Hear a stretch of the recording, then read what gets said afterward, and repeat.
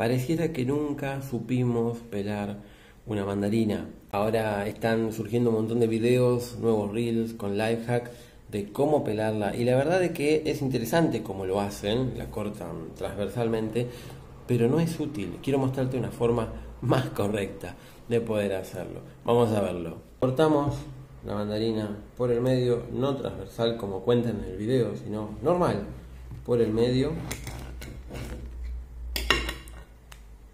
Y una vez que la cortamos, hacemos una presión alrededor, podemos liberar las puntas y vamos a ver que fácilmente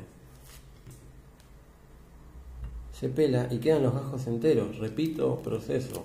Abro las puntas y listo. Gajos enteros.